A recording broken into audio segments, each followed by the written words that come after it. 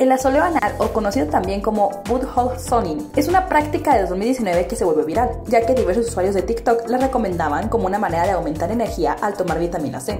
Sin embargo, recientemente ha vuelto a tomar relevancia porque un influencer la hace a diario y aconseja a sus seguidores también. Tan solo 30 segundos en algún lugar privado donde puedas exponer tu retaguardia. Se trata de Pilar Cabrera, organista española que no solo ha conseguido fama por su arte, sino por su alocada idea que varios han comenzado a seguir. Realmente sí sirve la asoleo anal.